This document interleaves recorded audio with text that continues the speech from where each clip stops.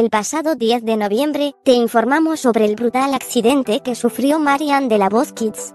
Más tarde, el 12 del mismo mes, se dio a conocer que la menor estaba en terapia intensiva. Sin embargo, ahora, la cantante vuelve a ser noticia, pues se reveló que ya se encuentra en casa después de que permaneció hospitalizada por semanas.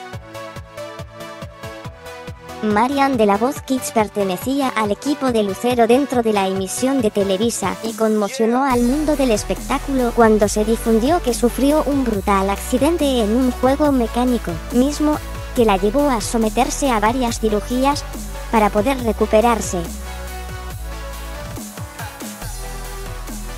La última cirugía a la que Marian de la Voz Kids fue sometida se realizó el pasado 25 de noviembre. De hecho, fueron los padres de la menor quienes, vía redes sociales, dieron algunos detalles de cómo se encuentra su hija y qué es lo que viene en su recuperación. El mensaje que escribieron los padres de Marian de la Voz Kids fue el siguiente. Queridos amigos, hoy tenemos la maravillosa noticia, que Marian ya está en casa descansando de las primeras cirugías. El mensaje que se compartió en las redes sociales fue acompañado de una imagen de Marian de la Voz Kids saliendo de hospital en una silla de ruedas y con una gran sonrisa en el rostro, Además, la menor sostenía en una de sus manos un globo rosa que su familia le regaló para celebrar su recuperación. La familia celebró que Marian de la Voz Kids podrá recuperarse de estas primeras cirugías en casa al lado de sus seres queridos.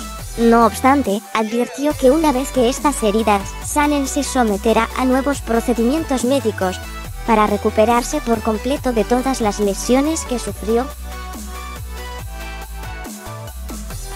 El comunicado de los padres de Marian de la Voz Kids cierra con el agradecimiento de los padres de la menor. Ellos reconocen que mucha gente, tanto del público como de su familia, se ha mantenido pendiente de la salud de su hija. Finalmente, los papás de Marian prometieron que van a mantener a todos informados sobre la evolución de la menor. La familia de Marian de la Voz Kids se mantiene positiva en torno a la evolución de la salud de la menor y espera las siguientes etapas de su recuperación para que ella regrese a su vida normal.